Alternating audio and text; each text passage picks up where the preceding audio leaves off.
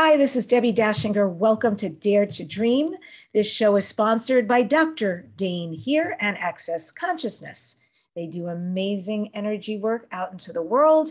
If you would like to become a facilitator or get one of their products or learn more or go to one of their programs, go to Dr. Dain Heer, H-E-E-R dot com or accessconsciousness.com. This show has been nominated for two People's Choice Podcast Awards and for a Webby Award, and we are listed in Welt Magazine as one of the top 20 best podcasts to listen to this year. I'm Debbi Dachinger, and I teach entrepreneurs, speakers, coaches, and spiritual folks how to write a highly engaging book. I do this through groups who meet twice a month on Zoom from anywhere in the world, as well as private sessions. I've also got a company that takes authors' books to a guaranteed international best-selling status.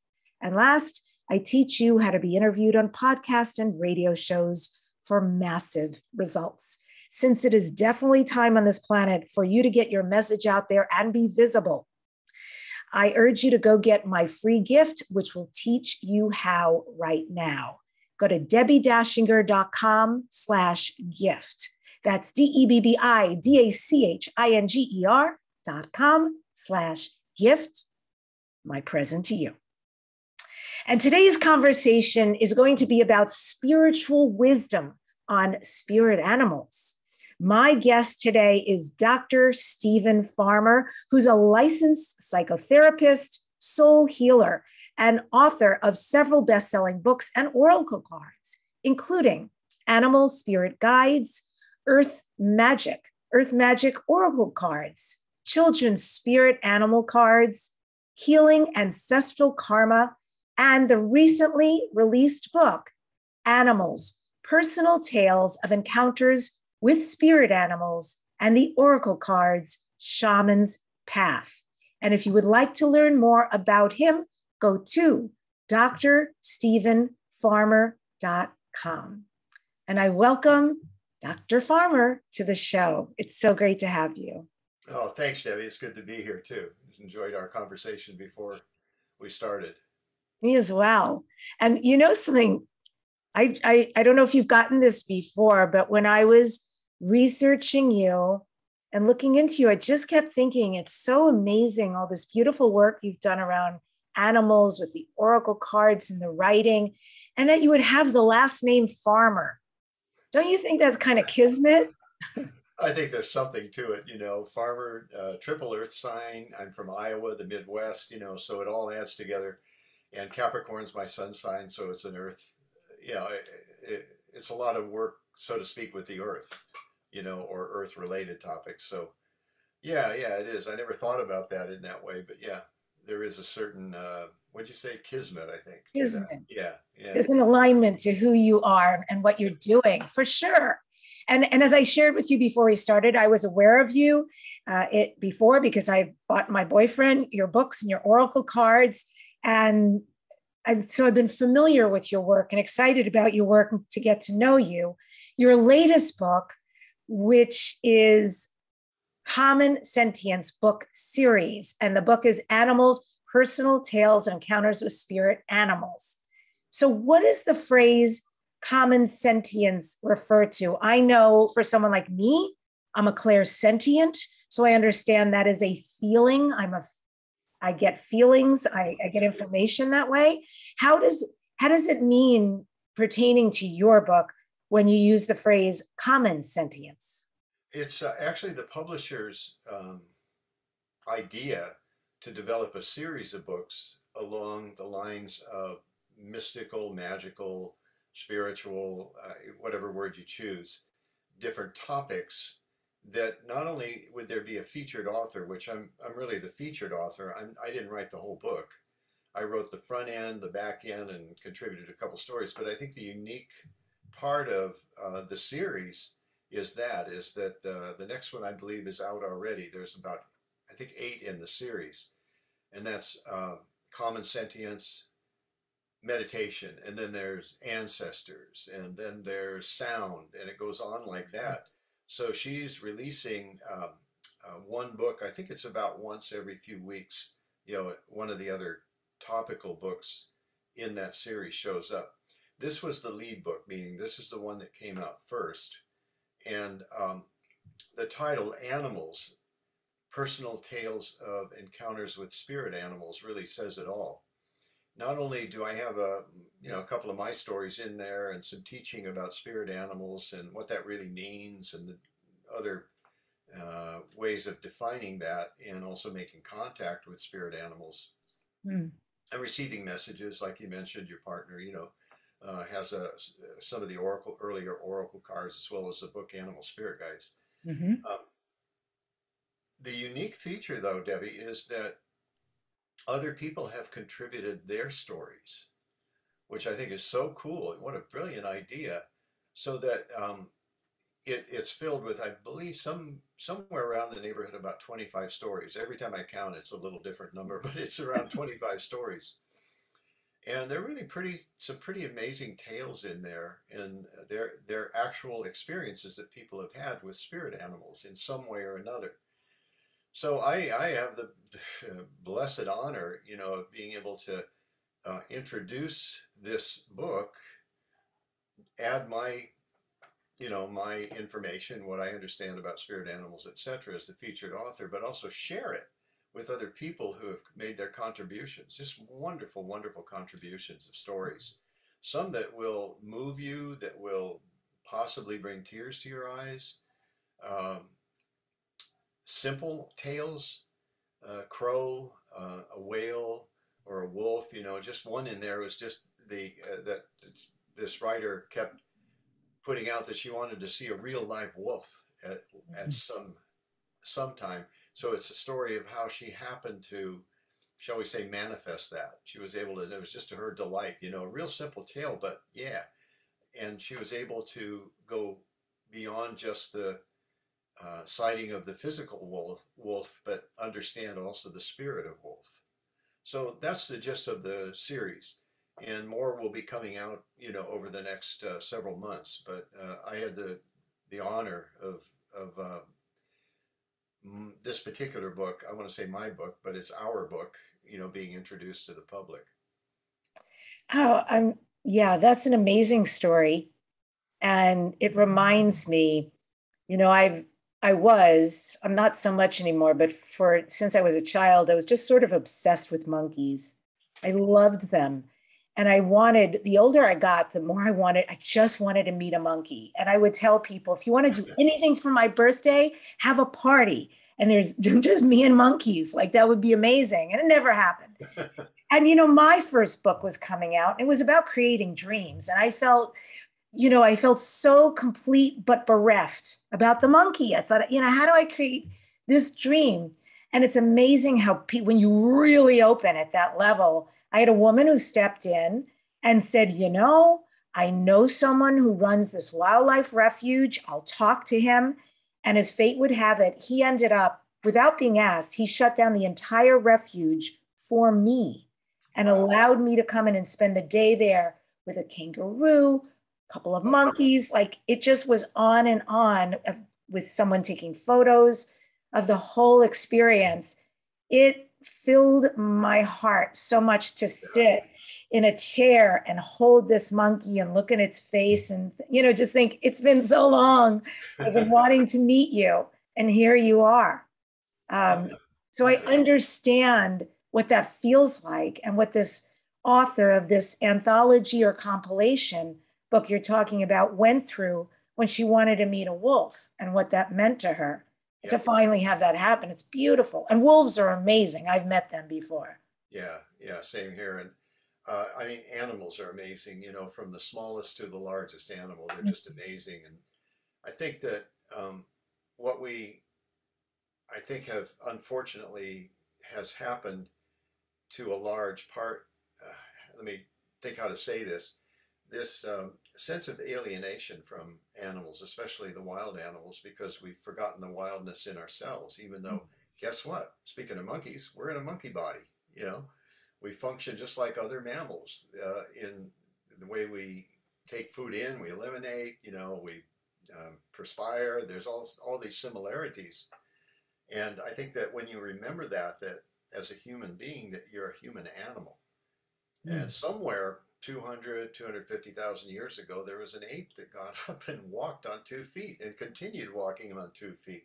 How did that happen? We don't know. Maybe he was infused with something from the cosmos or something like that. You know, it depends on who you talk to about that.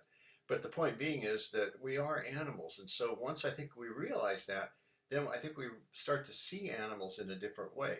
I mean, domestic. When, go ahead. When did this? When did your really strong connection with animals start, Steven? Was it always there, or did something happen that's a reference point in your history that just changed everything? Well, there's there's two angles to respond to with that question, Debbi. It's a really good question. Uh, one is, yeah, I've always loved animals. You know, we've had back when I was raised in Iowa, I mentioned that, and uh, up till about age 12, we always had animals, cats, dogs. Uh, there's a story, a family story of Andy, my, this mixed dog that used to wander away. And when I was about four or five, I guess I'd wander away with him, you know, follow him down the street. And they'd go, Where is Steven? We don't know where he is, that sort of thing. And then off and on throughout my life, I've had animals, as I like right now, for instance, a good example. Uh, I mentioned I, have got two dogs here. Uh, we're in a fairly suburban, well, fairly, it is a suburban neighborhood, not a big plot of land, but we got two dogs, two cats, two desert tortoises, and two chickens. How's that? That's awesome. We used to have rabbits too, but you know, uh, there was a disease that went around and unfortunately killed both of the uh, the remaining rabbits. But you know, there's talk about getting a couple more if we just maybe get a little bigger plot of land that might work very well. But you know, so it's great to be surrounded by these beings. They're the dogs and cats, of course, are very domesticated. Desert tortoises. I mentioned something to a friend about how I love desert tortoises. Used to have one called Tootsie many years ago. Tootsie the tortoise. When my girls were young, I've got two adult daughters, and when they were really young, we had a, a, a they named the tortoise Tootsie. That well, they called him Turtle, but same idea. And they're hibernating right now. It's so fascinating. They've been with us about three years to watch the cycle that goes on with them. And uh, you can't, they're not cuddly, you know, of course, they're reptiles, but they, at the same time, they're fascinating. And you think tur- tortoises move slow, right? You think, well, they lumber along, you know, which is true.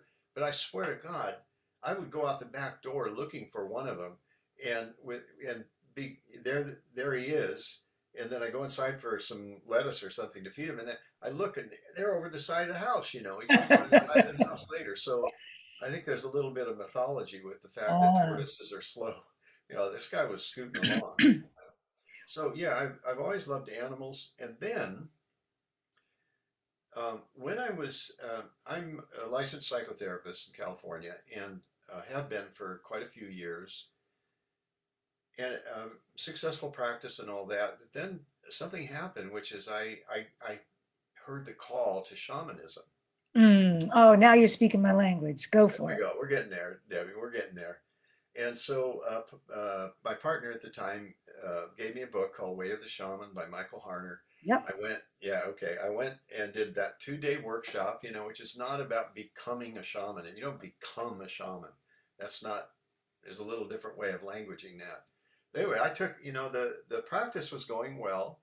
I did some good work, you know, I must say. Uh, and something was like nagging me, you know, like, okay, there's something more. And this book was handed to me. I took the two day course. I shot out of there and said, this is it. You know, I need to take some more training, you know, understand this more, maybe weave it into my work, you know, my work with clients and workshops and things like that.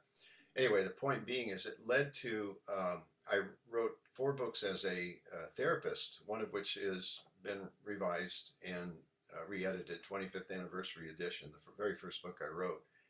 And I didn't write or publish anything for a number of years. And then as I evolved in shamanism, shamanic practice, basically retired my therapy practice and went, you know, all the way into shamanic healing. And uh, I consider myself a, not a shaman, but a shamanic healer or shamanic practitioner. Anyway, so um, I started writing in that genre. The mission was to write about topics that are related to shamanism, but not Mm. exclusively. Example, the Mm. first book in the series is Sacred Ceremony. Mm. That has a broad swath, you know, across various religions, practices, spiritual practices, etc., ceremony. And that was a real, that was a, it's a really good book. I, you know, all false humility aside, it's a really good book. And then one thing led to another, and it, I, I was really intrigued about writing about spirit animals. Mm. And that's kind of a long tale to get to that point, but I started writing and publishing books and oracle cards that are related to uh, spirit animals.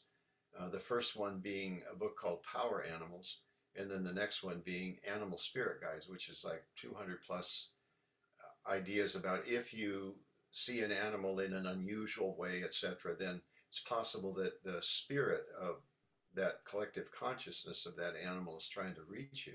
Mm. Because we we uh, once you open yourself to guidance, it's not just animals. You know, there's other ways that we receive guidance. But I got to tell you, Debbi, in my experience, it's one of the most accessible is through the animals. Whether Can you tell a story about that? A personal story about how you found an animal spirit guide and any way that you might have honored that spirit animal or communicated with it.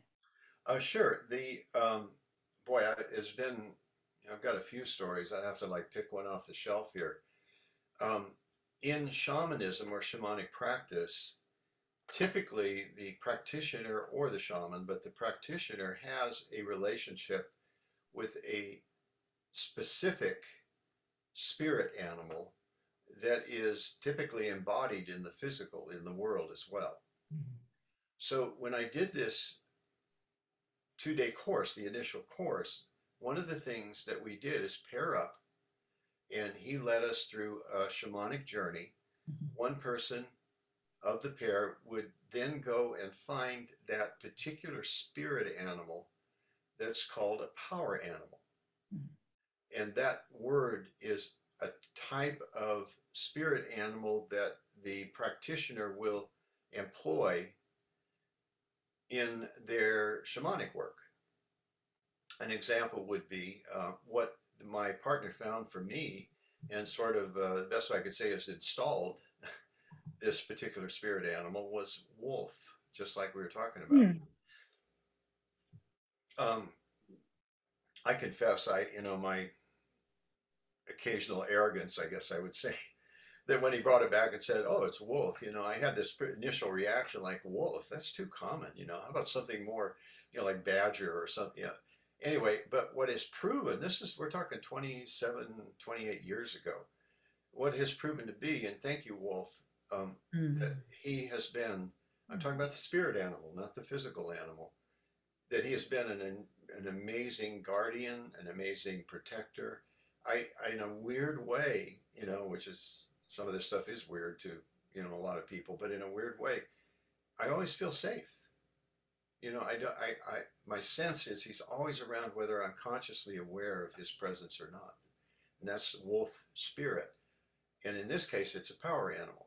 That's a little different than, let's say, an animal spirit guide.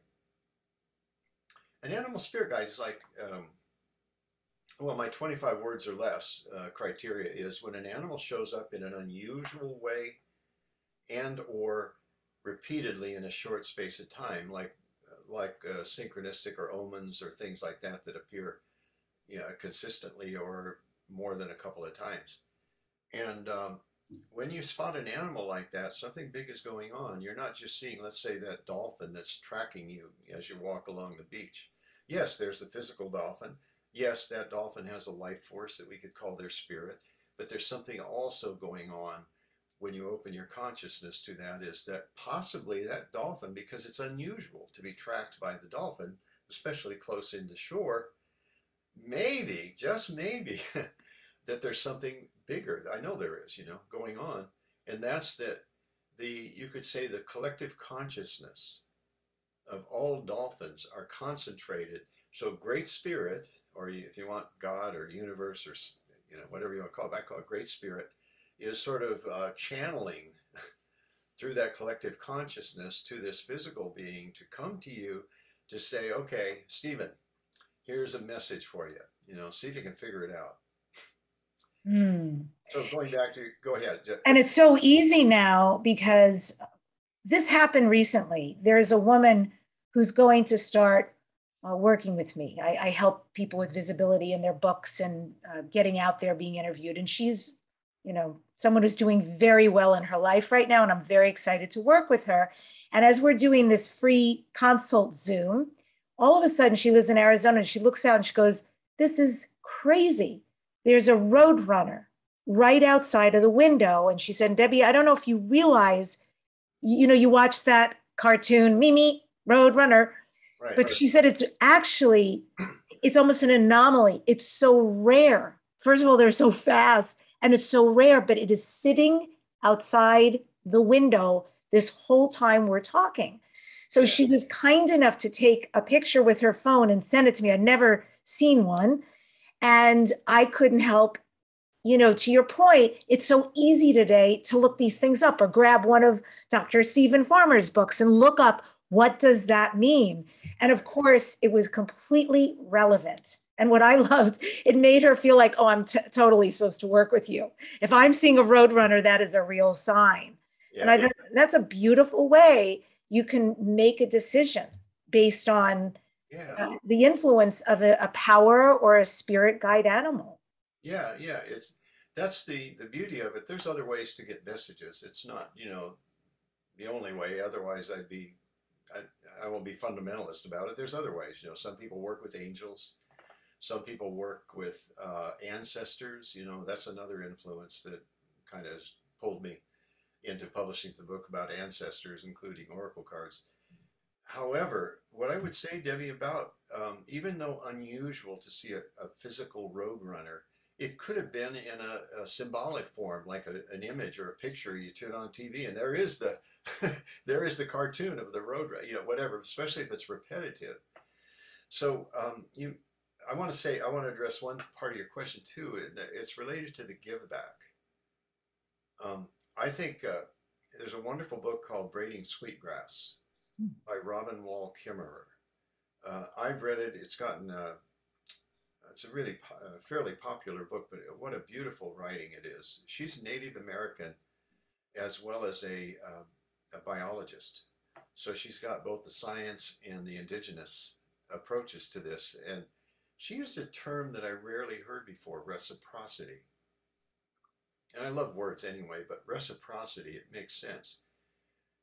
Take your breathing, for example. There's a reciprocity taking place every time you breathe. You know, we breathe in the oxygen that plants and trees give us, and we give back something that they utilize in this ever going, ongoing process as long as we're alive. Specifically with animals or spirit animals, even more specifically, that's one of the things I teach is that, yeah, as you start to see the value in this and you get impressions from, let's say, a roadrunner, you know, sitting outside your window. Thank you. Thank you, Spirit of Roadrunner. And what about giving something back to the animal kingdom? Mm-hmm. You know, in, a, in that exchange or that reciprocity, whatever it is. You know, taking care of uh, dogs, cats, taking care of tor- desert tortoises that are given to you, um, taking care, donating money, time, energy, etc., prayers, you know, to the animals, especially Humane Society of the U.S. I, I donate a certain portion of my royalties from a couple of the books uh, to about three different organizations uh, that I've checked out: Oceana, Humane Society of the U.S., and Defenders of Wildlife. That you know is uh, trying to save the wolves, you know, from going extinct. So there's there's that reciprocity, being kind to animals in some way. I think that's an important aspect too to working with um, spirit animals and animal spirit guides. Oof, I'm right there with you. So powerful. That's always for me tithing. It's always the place where I want to give my money. And I also give a percentage of my books to animal organizations that are oh, important to me. Yeah.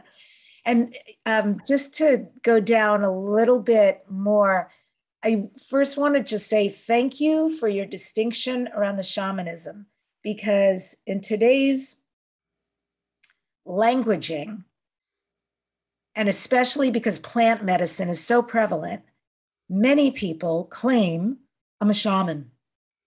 And that just ain't so. A shaman is someone who became so by virtue of their lineage. It was their soul's agreement to come into this life form and from grandmother to all the way down to granddaughter and so forth, they are bequeathed this information, but it's also inherent in their DNA, as same for the men. And so a lot of people, just because of plant medicine and whatever they, I went to Peru for a while, and then they're giving out medicine to people in these circles. They're called shamans. And, and I'm always moved when somebody is um, aware enough, not even humble, but really aware enough to understand the difference. And so you're, yeah. you are, you do shamanic healing practices. Yeah. And does that include soul retrieval? What does that include? Oh, well, there's, um, there's hands-on sort of like energy healing. That's a possibility. I mean, a number of possibilities. Uh, when I was uh, trained, um, like I said, I shot out of that two-day course saying more, more, more. You know, so I started grabbing up different kind of trainings, uh, Celtic, Tibetan. So it was nice to see the parallels, which is what Harner's idea was in creating what he called core core shamanism. Uh, from his experiences actually in the rainforest, and one of those being plant medicine you know, where he was given visions and such like that. Um, so there are, I would say, essentially three practices that are that are very common cross culturally with any culture that has what we would call a shaman. Shaman, the word shaman is really a, uh, a, uh, from the Tungus people in Siberia. Mm-hmm. So each culture and language will have a different name for that. Curandero comes to mind, you know, in Southern California, curandero or curandera but you're right. I think it's it's gotten saturated, and I I I will call it an opinion, not really a judgment, because there's no real load on it. People are going to do what they do. You know, okay, so be it. But I am of um, the persuasion that, like you articulated very well, Debbi, is going to Peru and you know drinking the brew ayahuasca or taking going out in the desert and taking some mushrooms or something uh, doesn't make you a shaman. Uh, it's not an ambition. You know, it's not something that you go, oh, someday I want to grow up and be a shaman. No, no, no, no. You're called to do the work in some way, but us in the Western culture, we're not familiar with that sort of thing. We haven't grown up in that lineage typically. I think we all have it if we go way back, you know, to tribal days or when uh, we, um, in our lineage, even, you know, from a long time ago, the Celts, you know, Irish, you know, Irish, English, UK, kind of that area. And I actually met an ancestor, you know, uh, I can't remember, it's been a long time in a journey, who was a, what we would call a shaman. But the interesting thing is most people in indigenous communities, they don't even call themselves, whatever the language is, a shaman. I remember a friend of mine was telling me about that when she went down to Peru and um, worked with a shaman, and he never called himself a shaman in the in the language in uh, Castellano Spanish, I guess is what they speak in or the native or the indigenous language. She said it really beautifully. Said, yeah, all he would do is he say, I just pour a little. You know, very humble about the whole thing and yet having considerable gifts of healing. So back to circling back to your question, yeah, soul retrieval, um, power animal retrieval, like I was mentioning earlier, and extraction. And very briefly, soul retrieval. The premise is is that um, throughout our life, there's a chance that we are going to either lose one of three souls, or a soul fragment, depending on who you talk to and what system you know they're working with uh, a friend of mine, he, he talks about the underworld soul, the middle world soul, and the upper world soul. That's not how I work or how I've been trained. My training is more that, that there's a good chance that like a fragment or a piece of the soul will leave under duress, strain, trauma, and may come back, you know, pretty quickly or might hang out for a while in non-ordinary reality. So the practitioner's job is to, with the help of his guides, which are typically one or more power animals, mm. uh, will travel to where that soul is and persuade them to come back and then Mm. in a sense sort of install that soul fragment back to the person it's really a miraculous healing It is. I, I I'm going to testify. I've had it done twice. I've worked with it many years ago, probably over a decade ago. Yeah. And it was so profound. I have to say, you know, we're not aware that in the puzzle that makes us who we are, that a piece of trauma when we were two extracted this piece. But I have to say that piece that got extracted actually influences everything. Yep. So it's so powerful. And I remember this woman saying, you know, you're going to lay there for, uh, to the best of my memory, you're going to lay there for a certain amount of time. I'm going to do my work. We'll reconnect. And when she came back and told me what she found, like, how's that possible? I thought it was miraculous.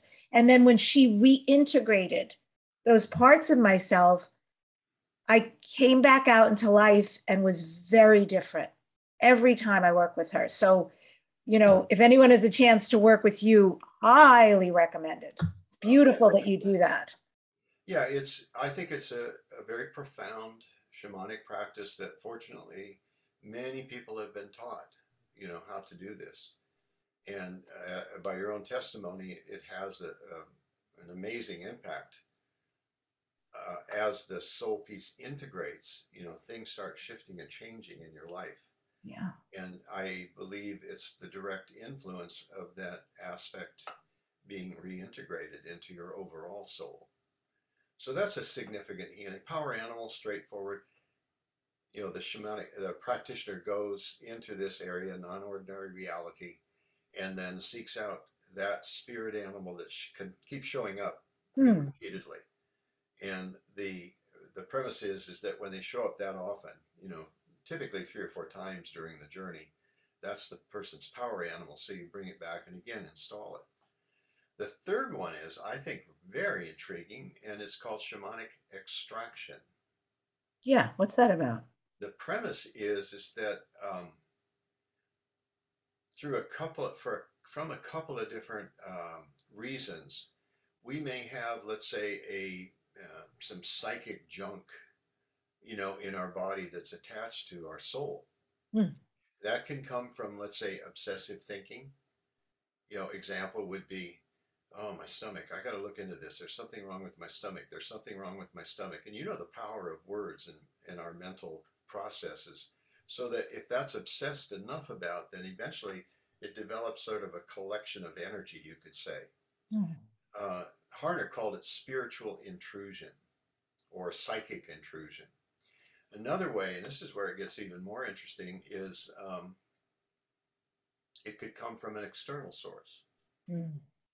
Let's say somebody, for whatever reason, rages at you. They're not even that they're really powerful, but you're in a vulnerable place for Mm. whatever reason, really open to this person, and suddenly this happened to me, so I can I have a testimony on this. Um, if they like rage, not just like say, you know, I'm angry with you, or, or yeah, I'm really pissed off. No, no, and I don't even want to do this in your direction, but just if they really rage, there is an energy to it that Mhm. can get into your soul body or physical body and your soul body and attach itself, so to speak, to your soul body and hmm. hang out there. And then you walk away from there not only feeling blown away, you know, just mentally and emotionally, but possibly something is with you that's left over from that rage. I had a brief story is I had a client, a family I was working with, mom, stepdad, and a, a daughter, 15 year old daughter. So I was, I'd worked with them for some time. I saw the mom and she told me something about the, the her daughter that um, she said, just keep it between me and you. And I went, okay. Uh, and then um, I saw the couple together. I saw the girl, and then I saw the couple together. And what happened is I stupidly let slip what she had told me about the daughter, some trouble or something like that. And I got to tell you, it was like all of a sudden this demon showed up in the form of this woman, you know, the metaphor. But she just like, you know, what do they say? Cut me a new one, you know, that kind of thing. And just all this energy, I felt it. I felt it go into my gut. Here's what I did though. I called a shamanic colleague, you know, somebody that I, I knew did some good work and said, I didn't exactly say it was an emergency, but I said, that this is what happened, you know, I need your help. So she came over and did this extraction and she was able to pull out this, uh, that's what I say is this psychic energy or this spiritual intrusion that was a result and cleaned it up right away and disposed of it properly. Um, it's pretty amazing. I think we do carry around, or we can, I should say, potentially carry around that sort of thing, um, where it's a spiritual intrusion that maybe was uh, given to us, you know, years ago, but we're still carrying it around. Harner, Michael Harner, who I mentioned, Way of the Shaman, he his experience or what he believed is that every illness has a spiritual causality that's a broad sweeping statement, but yeah, I think there's something to it. You get an intrusion like that, let's say that what I just described, it's very possible that uh, something would happen that the body would reorganize itself due to the intrusion so that it would become an illness of sorts. Whether it's an emotional illness, a physical illness, or I'm not sure you could say spiritual illness, but definitely a physical or an emotional illness. Did you feel a big difference after your colleague came over and did this extraction on you? Yes. She actually had, she's very visual too. She had a visual of it. I don't, when I've done that kind of work, I don't know, I get more, I'm like you, clairsentient. I, I more feel things. Um, but she said it was like a long, thick, kind of tapering, wormy kind of a image that she saw. And that was really what was for her to be able to see something you know, for me, it's like I can feel it when I've done extraction work. So that's that's uh, the three main ways of working with. Uh, the other is just ceremony. You know, I'll send people out that I work with uh, and give them uh, protocols for certain ceremonies. Full moon's coming up. Great time to do ceremonies. You know, especially ceremonies of honoring fulfillment, of release. You know, getting ready to release something uh, there's to work with that that um, that moon. It's more than a metaphor, but I'm going to call it a metaphor. It's like the breath in, full, and then you know releasing and letting go.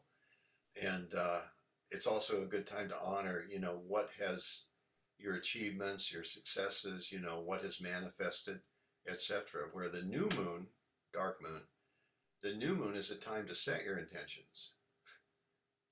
So that grandmother moon is able to participate in the process of the release and or the fulfillment. Oh Steven okay. So i just want people to know like i get this feeling in my belly and so I, am going somewhere here um, i want them to understand you have a lot of modalities that you offer your your being a seeker and your hunger for all these things has led you to a license in psychotherapy, somatic therapy, hypnotherapy, shamanic healing, EMDR, EFT tapping, huge fan over here, oracle card readings. So I recently saw on your website that you have an event coming up. I have a feeling you do these quite often. And actually, I would go, except I'm doing, I'm offering a workshop. Um, I've got a band and we do sound bath and healing events. I'm a singer. And so I can't because it's a conflict. But would you tell people who may be interested about your upcoming event in Joshua Tree?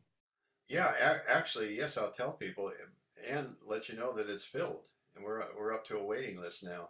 And I think, Debbi, part of it is because of the pandemic and the, you know, having to sequester and all this stuff, the craziness that went along with it, mask, no mask, vaccination, all that stuff I think everybody's pretty tired of it, you know? And um, so I, there's three events that are actually coming up that where it's actually in person and not on Zoom. Oh, yeah, what a concept. Uh, oh, okay, let's give it a shot here. Let's see what happens. Uh, that one is Joshua Tree, a colleague and, and dear friend of mine, Mar- Marissa Ryan, who's a very gifted medium psychic We've done this in the past, probably about four times, maybe five times. It's okay, Scott. You like that, huh? About Marissa, my gray dog. Is anyway, so uh, it's it's filled. We limit. We had to cap it at 26 for various reasons. Scout, no, no bark. You're going to go outside. and You do that again. Just whisper.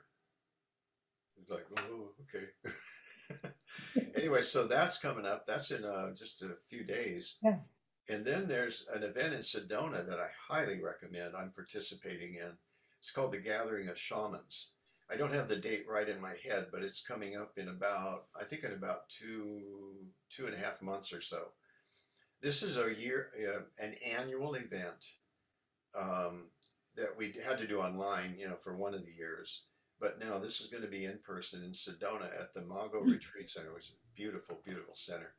Uh, the headliners, you know, the draw is the uh, Don Miguel Ruiz and his two sons. Yeah, Jose. Uh, mm-hmm. Yeah, Jose and, and Miguel. And then HeatherAsh Amara, who I'm an admirer of her. She's she's really she's cool. Mm-hmm. And uh, myself and a few others can't recall who else is there, but it's really a it's a really neat event, you know. And I'm look, really looking forward to it. Partly because I love Sedona, especially we're away from the town. You know, we're mm-hmm. out a little bit in the sticks in this beautiful retreat center.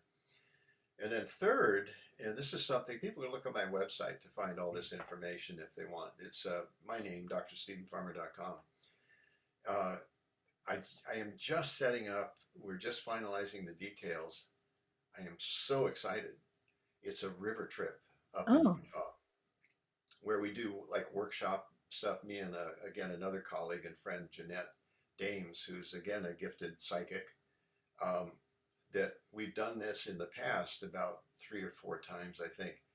Always been great. She's a former river guide, you know, so she's she's got the ropes on it. Plus, we hired a company, etc. And it'd be an opportunity uh, to be outdoors for like five days in uh, the relative wilderness, you know, with some very trusted guides who are taking us on the river. So that's available coming up. And who knows what else, you know, there's some other goodies that'll be happening as we kind of break open the uh, uh, the champagne, you know, and celebrate that we can get together like this. Yeah, absolutely. Events. Yeah. No, so yeah. Yeah. The energy of your event just sounded amazing, and and of course, kudos to you. I'm, if I felt that, that's why it's full. Um, yeah, other yeah. people yeah, yeah, resonated too. Yeah. So it's one of my favorite places in the world too. It's only a couple hours from where, where you are as well as where I am in Dana Point. Yeah, I think you're holding your event in the same place where Dr. Alberto Villoldo does his shamanic yeah. training every year. So yeah. I was familiar when I I looked at the workshop space. Yeah, uh, very. Uh, I mean, I love the desert. You know, the desert is it's just magical and mystical. Mm. And uh, so I want to I want to flip to the oracle cards if you don't mind, because you have these ancestral ancestors oracle cards and i would love to pick a card for everybody who's watching and everybody who's listening that they may receive a message with the intention that the message is for us you and i and for them sure uh, exactly what we need to hear right now uh, pay attention to take action on heed of Love to. Uh, reminder of all of that. Yeah, and again, um, I want to say something about these. This is just came out to uh, I think about six weeks ago, mm. and uh, added to uh, the other oracle cards, uh, Power Animal oracle cards. Um, there's even a really cool one called Children's Spirit Animals because it's nice to get children introduced to this idea and uh, way of working with animals uh, at a fairly young age. So uh, they've been really successful too, which I'm really happy about. Um, these, uh, I want to do a little spiel on how they're constructed because how do you do oracle cards for ancestors? You know, what do you do, grandma, grandpa? What do you do? So a lot of this information was downloaded mm. as to how to construct these. And so there's four uh, categories of ancestors going all the way back billions of years. So the first category is called the master ancestor, DNA. The second category is primordial ancestors earth, air, fire, and water. Think about it. That's what all of this is made of earth, air, fire, and water. The third category is what I've deemed prehistoric ancestors animals, plants, minerals. And um, the fourth category is one that uh, was developed as archetypal ancestors. For instance, writer. You know, it might be a specific writer that you have in mind. You don't need to be biologically related to that that writer, or it may be more of a generic ancestor, the writer. Dog just left. One of them, I think the other one was scratching at the door. Hey, it's dinner time. what? A, just a minute, boys. So anyway, I just want to give a little bit of a background of the construction. So I don't know who's going to show up here, but uh, yeah, as you uh, requested, sure, Debbi. Let's let's uh, pull a card here. Yeah. Ancestors. Thank you for your blessings. Thank you for your taking care of us, for reminding us, for guiding us, whether we're consciously aware of it or not at all times. And I thank you for a message that's going to be um, useful, helpful, healing in some way for all of the good people that are listening uh, to this program, to this uh, podcast. And thank you for the blessings that you bring to our lives and how you encircle us in so many different ways and that we may be we may be more consciously aware of your presence and your influence um, um, at all times and be able to honor you appropriately. Thank you for through this vehicle delivering that message that's going to be helpful for others.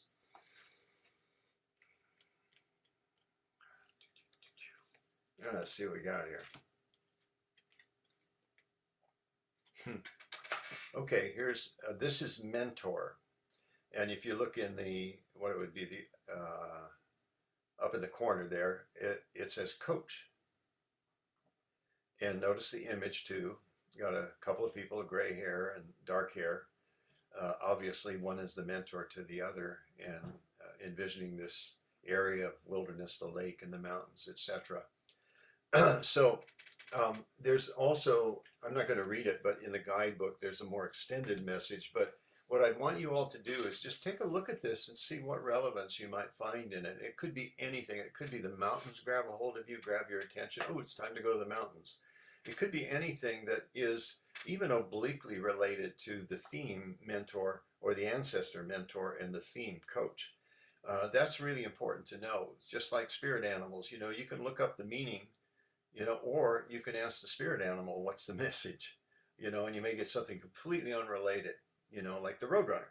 You know, he may say, uh, all right, it's time to sell your car, you know, or something that's kind of a silly example, but has nothing to do with the attributes of the Roadrunner.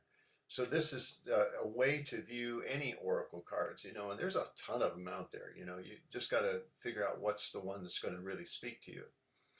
So what this is saying, here's what I get in addition to what I've just said, Debbi. That what it is is that um, I'm not sure if it's all of you who are listening to this. I would I would hesitate to say everyone, because uh, some people may have a different sense of this. But a strong sense I get of this for many of you who are listening is, yeah, seek out seek out a mentor. You know, it's time. We're wandering through a really uh, challenging time, needless to say, right now.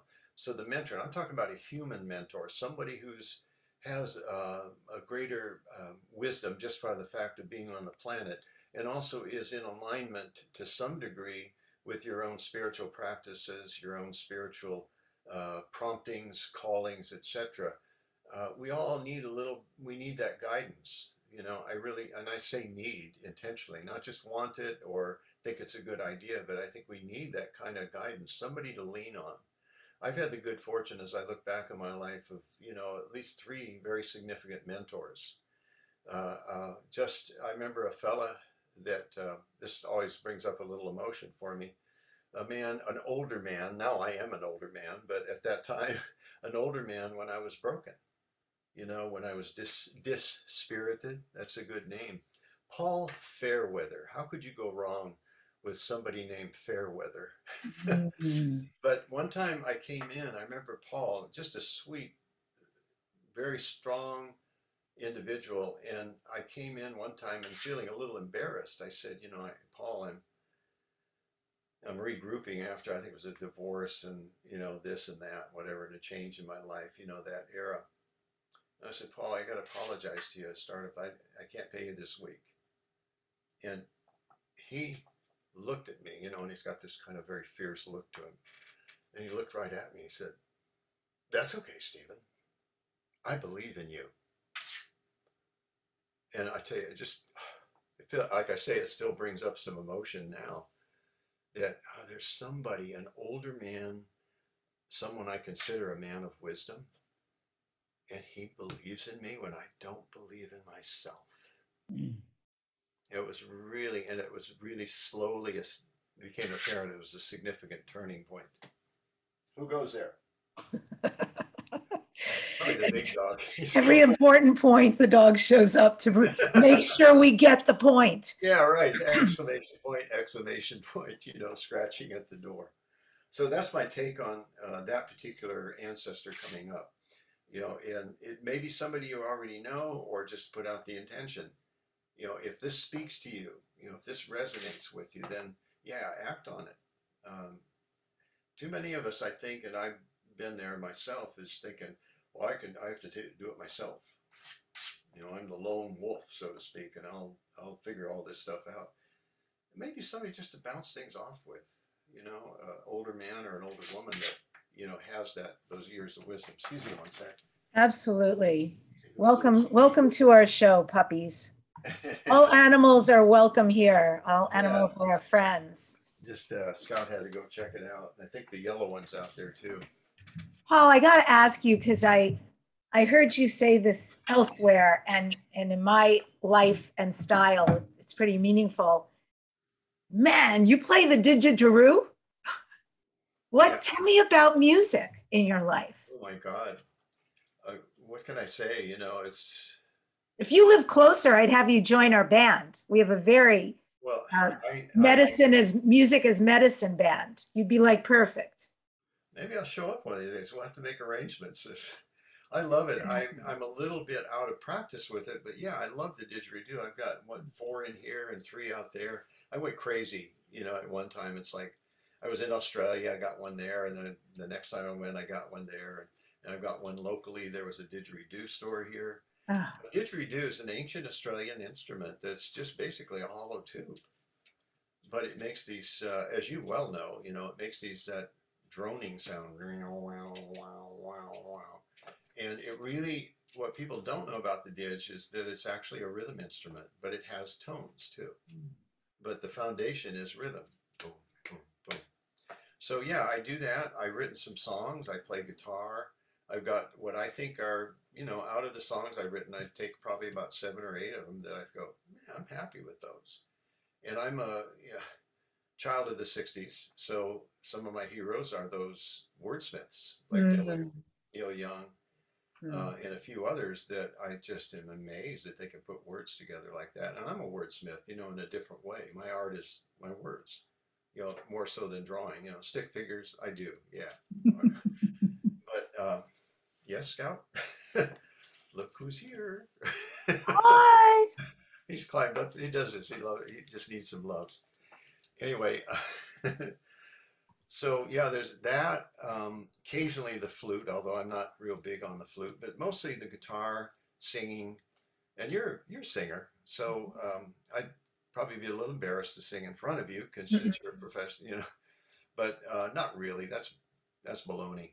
I just love singing. I love playing the music. I love the songs I play. Uh, Tom Petty, uh, the Stones, the Beatles. You know, just uh, admire the Beatles. I read and listen to Audible and just about anything about the Beatles because what a fascinating phenomena, really, more than a musical group. You know, yeah. they were a phenomena. So, um, yeah, music is the breath of life in a way. Yeah, it's, it is. It is. It is a healing modality unto itself.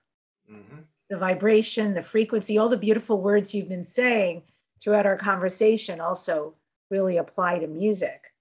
Yeah. And, uh, so yeah, I may have to hold you to that gathering at some point. Yeah, well, let me know, Debbi. I'm, ha- I'm happy to. Uh, Burbank's not that far. Like I said, it's uh, put in perspective. It's kind of in the neighborhood. Yeah, exactly. Yeah. Um, so yeah, very exciting. So many things in common, and you could bring your dogs too, which is great. Okay. All dogs are friends to our dogs. I want to just ask you about the healing spirits that assist you. So I've got a quote from you, which is I firmly believe that all emotional, physical, and mental disturbances and illness have their foundation as a spiritual cause. To treat these conditions, I work with my helping spirits to facilitate healing at a soul level, which is why I also call my healing services soul healing. Can you talk about? I don't know if you can articulate this about the healing spirits that assist you and thereby assist your clients. Sure. The two that um, come to mind immediately one is um, actually in a men's event prior to my receiving Wolf Mm. as a power animal. We did this process. I had no idea at that time about spirit animals and shamanism, you know, maybe a little bit, but not much. And in this men's event, uh, he led us to a meditation where a specific animal would come to you. And uh, the one that came to me was snake. What that led to over the years is a depth of understanding about not only snake, but snake spirit. And one of my favorite all time books, Debbi, is called The Cosmic Serpent. Basically, DNA and the origins of knowledge. Um, I'll try to be brief with this, but basically, the author, Jeremy Narby, he went to South America, ingested the brew, ayahuasca, saw a lot of snakes, remembered what he had read something in Harner's book about that, and also about uh, these critters that, that Harner was shown that these critters came across space and time, landed on the planet Earth. And he went, huh. And even Harner made a footnote in the book said, you know, I'm not a biologist or a microbiologist, but maybe that was DNA. So Narby goes through this whole process, studies microbiology, shamanism, etc., and comes to the conclusion that the early shamans were actually seeing images of DNA, but they didn't have a precedence for it, so they look like serpents, intertwined serpents. Isn't that a trip? And he's got in the book too, he's got images, you know, of snakes and serpents in both cultures, like in Peru, in the jungle and the mountains actually, that use a brew to travel. Um, that uh, I lost my train of thought, but anyway, he makes that he does this whole detective work to discover that cross culturally in both uh, uh, cultures, this is what I remember I was going to say, the cultures that use plant medicine and those that don't, of the images of the snakes, and a lot of them intertwine snakes. if you see this one image over here, it's by a, dear friend of mine in Australia, Jeremy Narby, uh, Jeremy Narby, uh, Jeremy Donovan, who created this because of my understanding, you know, more and more of the power of snakes and that snake spirit is a healer. So when I'm doing healing work, I call on snake spirit. All right, one more piece, and that's um, this. The only tattoo I've ever gotten, and probably would be the will be the only one, but directly from this image here. And it's a constant reminder that snake spirit is with me at all times. And what uh, I was going to say about the images that shamans saw, they really were seeing snakes and serpents. But they, because they didn't know what DNA was. Now we go, oh, intertwined. Oh, yeah. And, you know, the ladder that's in between. so check out, all of you who are listening, if that intrigues you, check out that book, Cosmic Serpent. It's one of the most uh, top 10 books that's ever I've ever read that has influenced me greatly. Plus, this was uh, an uh, birthday celebration too. Ah. You know, at my 60th birthday, I thought, it I want to do something to mark that. Mm. And so I got a tattoo and found somebody who could do this. The other one, if I may just say briefly, is Ana Oto, who um, came to me actually in a in a medicine journey on uh, Cone Peak in the Ventana Wilderness, which is also referred to as the Big Sur area. A buddy and I went up. We went up, and at this time, you know, I'm a child of the '60s. I did acid, you know, I did mushrooms, I did all mescaline. I had a roommate that was dealing, you know. I love you. it, it sort of opened, you know, it opened the doors of consciousness. But you know, at that point, I didn't know what to do with it. I'm just tripping. Mm. Then after you know a few years of really becoming to appreciate that it's no, I can't do that anymore. I can't do I can't just do acid just to get high and see the ceiling, the bubbles in the ceiling or something like that. Yeah. You know, or trails or whatever. I couldn't do that anymore. It wasn't allowed. I got a very distinct mm-hmm. message. You know, no, you do this as in the in the manner of the sacred. Mm-hmm. So with that intention, my buddy, my good friend, longtime friend, went up there. We did hiked around for about three days, and then we went up on the on the the hill, about a mile up, and wonderful vista and everything. And then we did some prayer and cut the mushrooms up, put them in orange juice, and took them and then waited. Yeah. And what happened was just phenomenal. I'd read Terence. I just got to ask, how many grams? Because it makes a difference. I don't know, but it was enough to go past a certain. Uh, you know, I, I didn't even know think to measure or anything like mm. that. Quite honestly, you know, okay. these days I'd probably do that if I do. I don't know if I'll ever do them again. I don't know, but um, what happened is I what we do is you know not to be gross but vomit you know when you do ayahuasca or mushrooms you tend to uh, mushrooms you get rid of the arsenic you know that's why your body rejects that but by then it's activated. Mm-hmm. so what happened is I I got off my chair went down you know and did that and then I looked and I went oh a pretty altar. And and then some interesting things start to develop as and you've done this i know but you know you kind of go in waves you know where it gets a little more intense and relaxes and a little more. And at some point i turned to my friend bruce who had been talking about shape shifting earlier and i said bellman i don't think i'm going to be around much longer not dead but not my real self my usual self's going to be around so just remember you can't really fly Okay, remember that. I'm gone. I'll see you later. And what happened is I, I would joke with him. Prior to that, I would joke with him, you know, giggles and laughs and all that.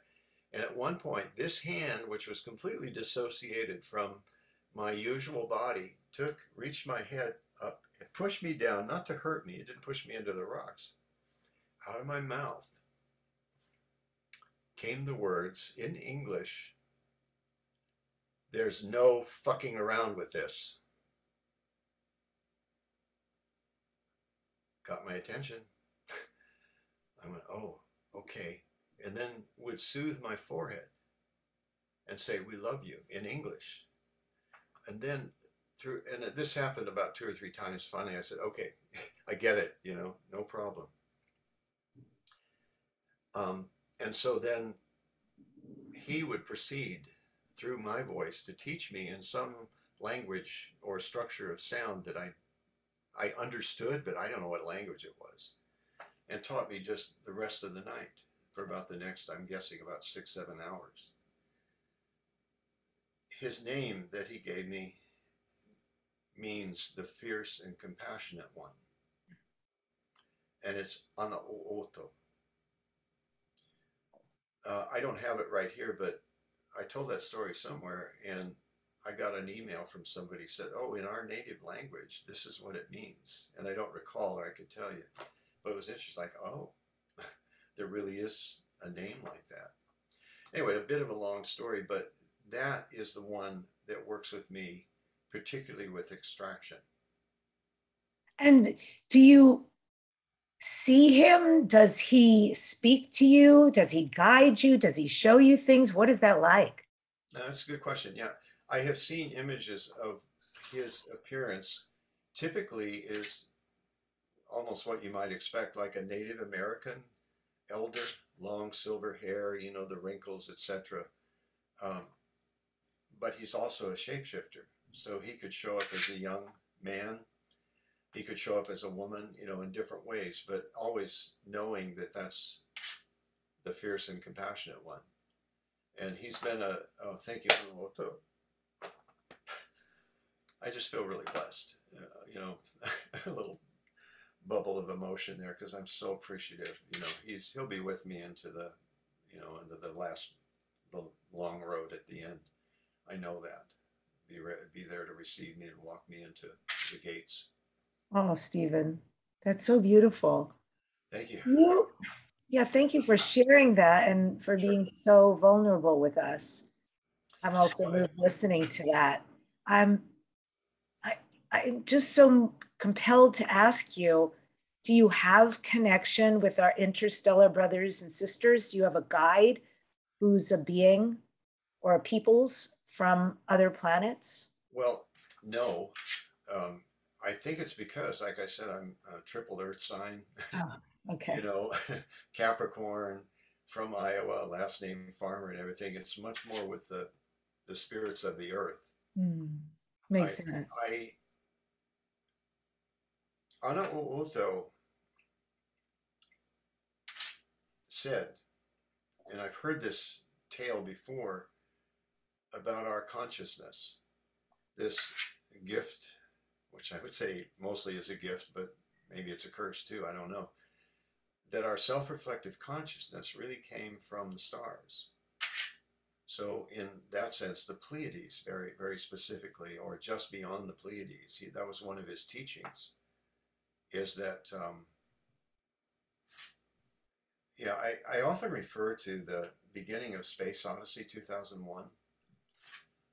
I don't know if you've uh, seen that lately, but go to YouTube and just watch that. It's about a 10 minute clip of the beginning where, you know, there's a bunch of apes around a water hole and there are two different tribes fighting for it. And then suddenly they wake up and there's this obelisk, you know, there and it's, ooh, you know, woo kind of music. But they discover tools.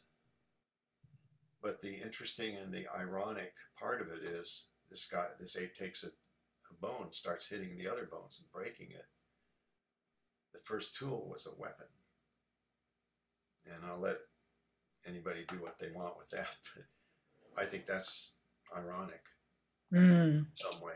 Anyway, watch that first part of Space Odyssey because something was introduced, you know, to the apes you know, that prompted one of the apes, or maybe more, to get up and walk on two feet. And also then continue to develop this self reflective consciousness, which is a good term for it. Being able to look back on ourselves. We're not the only species that has it, but I think, you know, we're sort of at the top of the heap as far as that goes. Self reflective consciousness, yes. And this is Dare to Dream. So, Dr. Steven Farmer, what do you next dare to dream? What are your future dreams and goals? Well, I'd like to see peace on earth, you know, of course. Um, that's a lofty goal or a lofty prayer. And there are people that are working on it. The HeartMath Institute does uh, sponsor some, I'm not sure they call them coherence uh, co- collectives where people all over the globe are, you know, um, meditating and going into a state of what they call coherence, you know, and expressing their prayers and hopes for peace. On a on an individual level, the beauty of the work that I do um, is not um, determined by age. I am an elder now of the tribe. I recognize that. It took me a couple years to kind of, you know, get that suit on, you know, to accept it. But I, I fully accept that now, and I, I feel um, I was just thinking about this this morning. My wife and I had a conversation last night about, oh, you know, I don't know if anything really matters. You know, she was saying, I don't think anything matters. I said, well, I, I totally agree with you, but there is a way to think, uh, to live in that paradox. As a friend said one time, he said, I live my life as if what I do is really important and it matters, knowing all the while, three, four thousand years from now, it won't matter that's where I'm at. Is I choose to know that I have impact on people, And as long as I keep in mind that what I do is a service, you know, I'm compensated. There's that idea of reciprocity again. I'm compensated for it in various ways, not all financial, but you know, certainly financial. Uh, I charge for my sessions, you know, for instance, because uh, there is that exchange. That's the way it is. So I'm I'm looking at uh, some possible books already. I've got a uh, one of my earlier books that's all set up and ready to be tackled to revise, um, called The Wounded Male. Uh, I had one of my clients whose man read it. He picked up a copy and he said, "Oh, it's a great book." You know, I was like, "Oh, okay."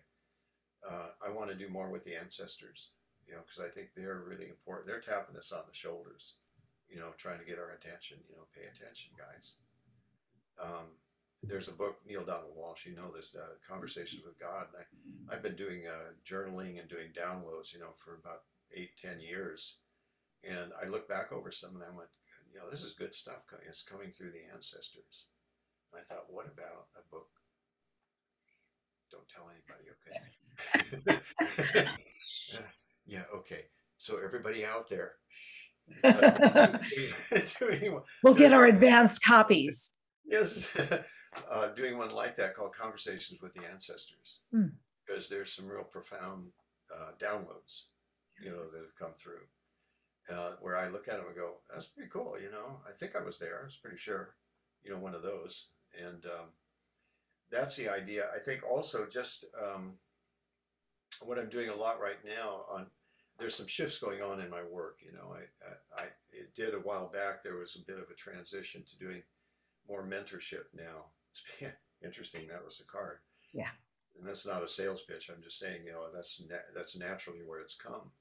So I'm doing a lot more mentorship, and I love it. You know, being able to offer, like you said, all of these areas, you know, that I've I've worked with in so many different ways. Understanding trauma even more, and the residuals of trauma. Um, yeah, stuff like that. You know, that's that's of interest. Thanks for asking too. Um, I just got to carve out the time to do this stuff. That's the only thing. Yeah, lucky you that you have so much creativity and so much that's given to you to take care of, uh, to disseminate that kind of wisdom, and that you've got writer in you. And I look forward to more. I'm so grateful you came on the show. Thank oh, anytime, you. Debbi. Thank you for having me. You're a great host too. So mm. thanks. Appreciate it. And folks, if you want to check out more about him, go to drstevenfarmer.com. And I end this show with a quote from Khorshed Bhavnagri. Every soul on earth has a guardian in the spirit world who guides the earthly soul. This guardian is known as your spirit guide. It is his or her mission to guide you on the right path. As soon as you take birth, a soul in the spirit world is assigned as your spirit guide from birth to death. Subscribe to this number one transformation conversation, Dare to Dream with Debbi Dachinger. Please leave a comment, like the show, and send it to people who you know will love it. We are on all major podcast sites and if you'd like to see what we look like, absolutely animated and in person in real time, go to youtube.com slash Debbi Dachinger. Next week on the show, Dr. Steven Greer will be here. He is an American ufologist who founded SETI, the Center for the Study of Extraterrestrial Intelligence, and the Disclosure Project. And remember, folks, don't just dare to dream, dare to turn all your dreams into your reality. Thanks for joining us today.